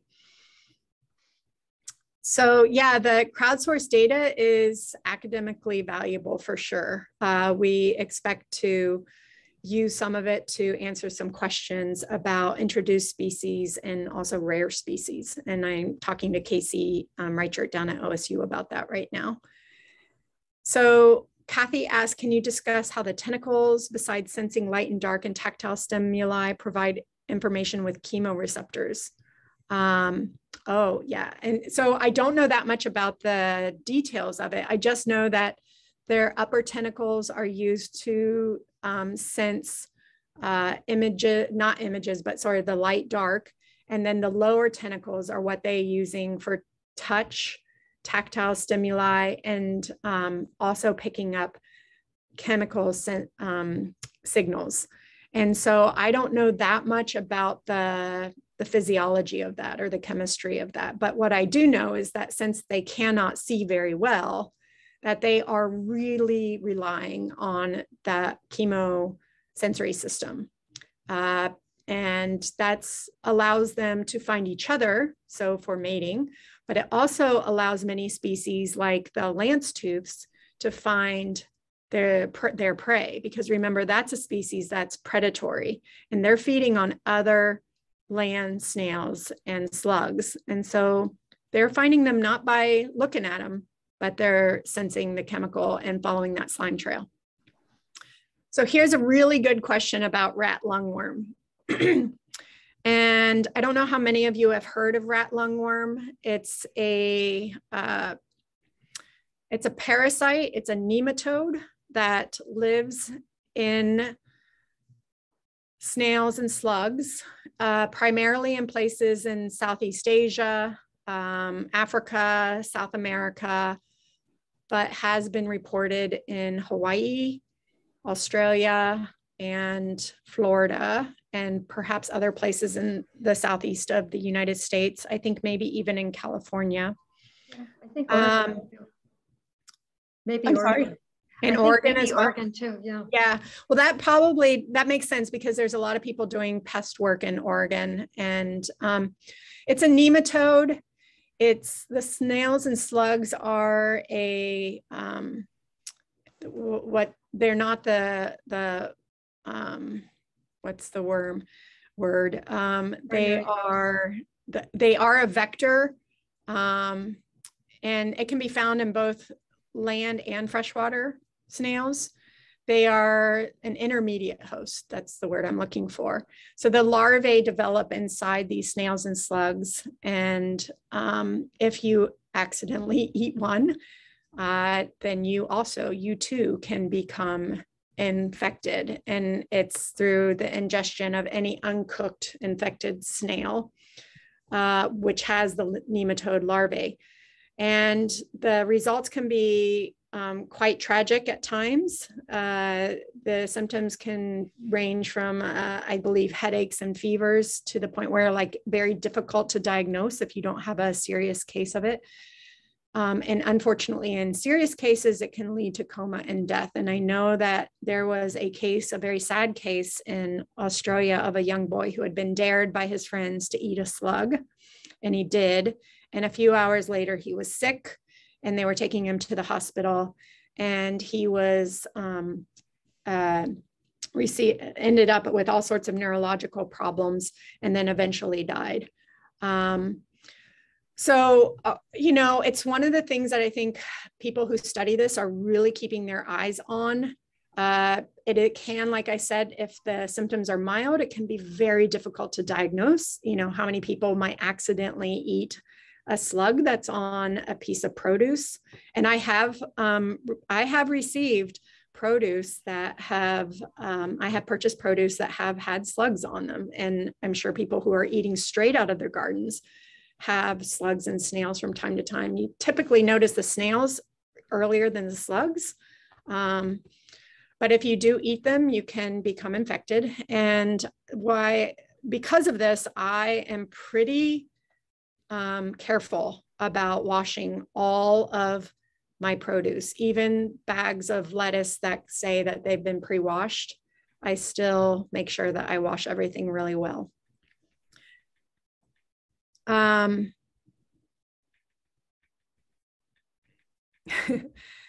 so uh, can you discuss?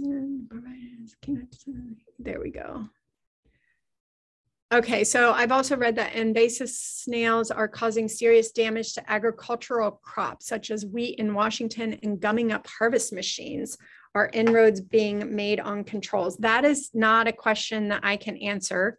Um, I know that there are people down in Oregon State University who are working um, with farms and farmers on this. And uh, there is a fellow by the name, I believe, Rory McDonnell, who is a professor there who um, is, he might be, he would be the pe- best person to answer that. Um, you know, obviously, some of these invasive snails and um, slugs can, beyond our own gardens, cause some real commercial uh, damage in terms of you know ruining crops. Um, just the same as insects and other what people consider pests but um, i don't really know what what people are doing to think about control mechanisms many people ask me i mean that is the number one question that i get is how can i kill them and uh, you know, anyone who studies insects or invertebrates gets that question regularly. And um, I don't like to tell people what to do uh, because ultimately we all have to decide what we want to do.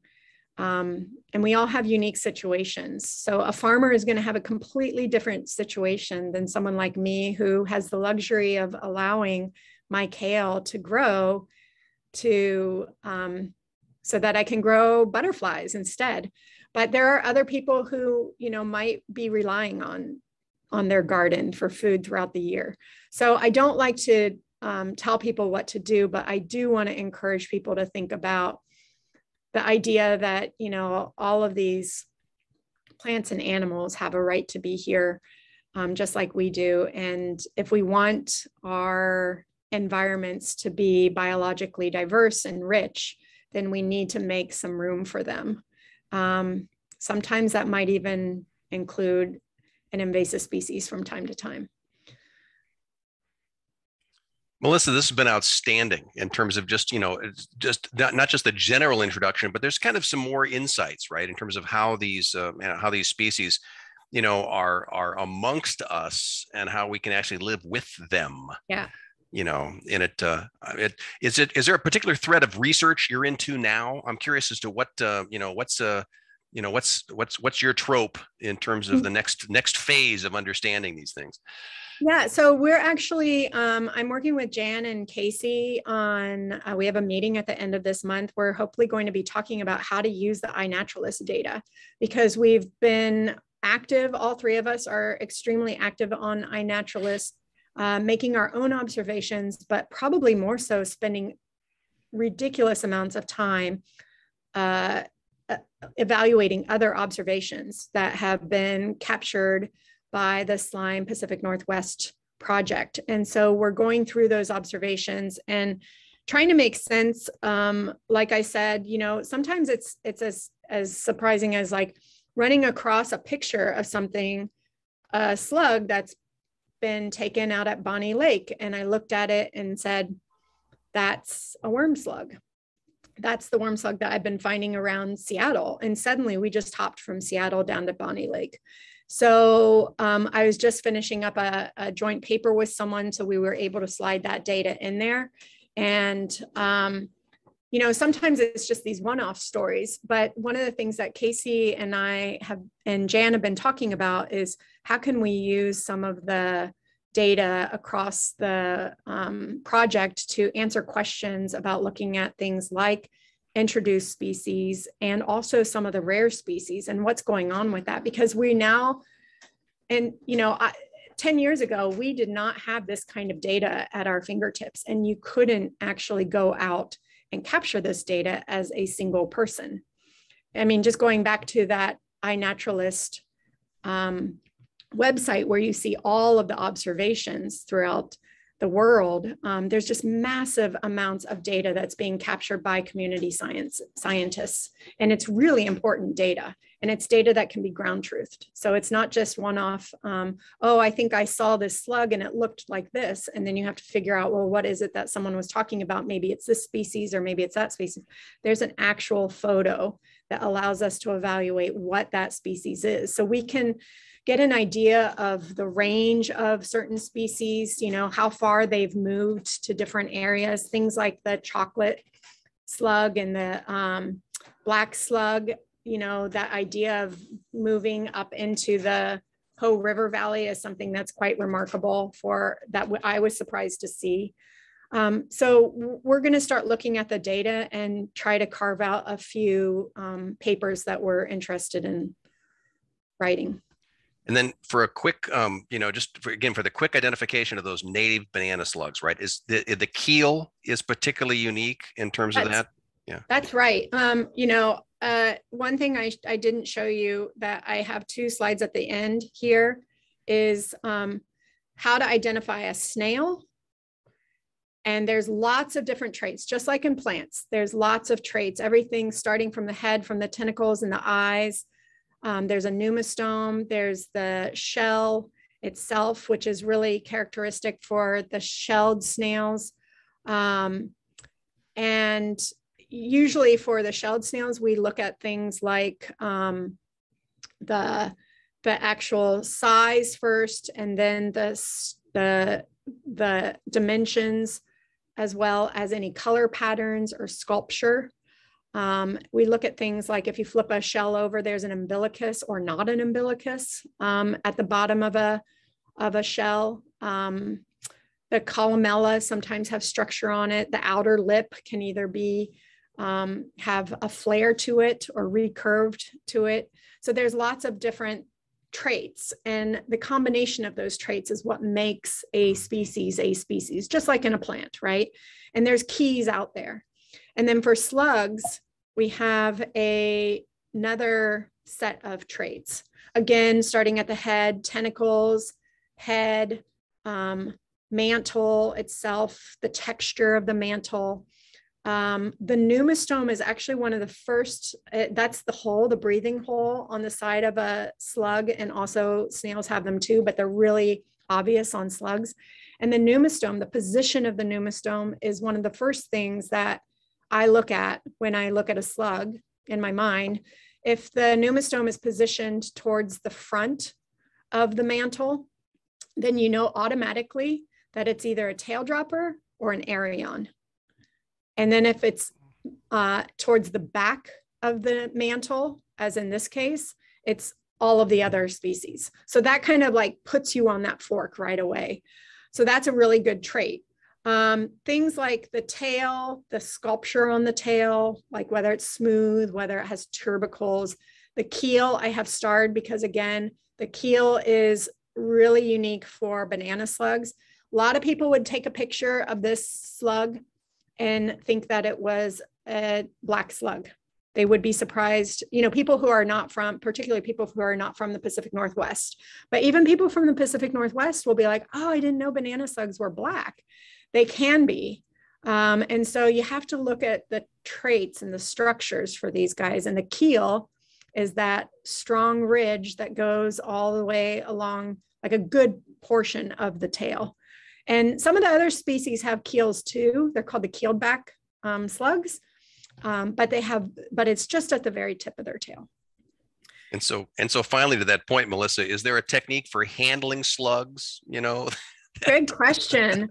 Uh, make sure you don't have DEET on your hands. Um, I I am I do pick up the animals because of course I photograph them. And so you can see I'm into the photography of them because I think that you know presenting them in a way that makes them more charming can win people over. So I'm kind of committed to that and it's fun to do. So I'm handling these animals on a regular basis. Um, and like I said sometimes it's fun because you can actually get a robust lance tooth to bite you. And that's pretty cool too um, but yeah, don't have any perfumes, lotions, or um, any chemicals on your hands because they are sensitive, just like many animals are to those. Um, I also, you know, snails and slugs um, don't like salt. So, eh, you know, I, I do wash my hands sometimes when I'm hiking to kind of remove the salts on my hands, although I don't think it's particularly um, the salt is not high enough that it's painful for them, but that's something that I do think about from time to time. And then when you are finished handling a snail or a slug, I encourage you to wash your hands. Um, if you carry wet wipes or something like that, um, or just using water from your water bottle if you have extra. Uh, the slime can usually isn't so bad that you know you have gobs of it and it can be rubbed off once it dries. But um, I do encourage people to wash their hands mainly because there are things like rat lungworm that we just don't know that much about. And, you know, we don't, I just want to make sure that people stay safe there too. Other questions for Melissa? This has been incredibly informative and fascinating. Yeah, I have a question about uh, are, are they detritus feeders? I saw uh, look like a brown slug eating a rat. And then a mountain lion killed a deer on my property, and what she didn't eat, there were slugs all over the carcass. Good point. Um, okay, so yes, there are, I mentioned some of the snails are herbivores, and then I said detritivores, meaning that they will feed on decaying material. But John, you bring up a really excellent point and fascinating natural history um, observation that I have never seen in real life, but through the power of iNaturalist, because of all the community scientists are out there taking pictures, I've seen them feeding on dead birds and on dead mammals. And I always um, favorite those observations because it's not very common, but it, it is happening. And so, yeah, they absolutely, and it's not every species will feed on you know, a dead mammal or a dead bird, um, but there there are examples of certain species feeding on them. And it's just it's amazing. I mean i'm sure also most of you know that they will feed on excrement from dogs or other animals that are in the forest. We have all seen that. And that that does make me gives me pause for handling these animals knowing what they feed on. But um, yeah, they they will. They're great detritivores. Many species are known to be important nutrient recyclers for our forests. Um, they play a large role that way ecologically. And, you know, people ask, well, what does a slug do or what does a snail do? And, you know, every animal, plant and animal and fungi have a role on this planet. And, you know, in certain places like forests, they are, they're good nutrient recyclers. So they will take that dead animal and they will poop it out as nutrients that can get used um, by a plant or a fungi. So Other questions for Melissa?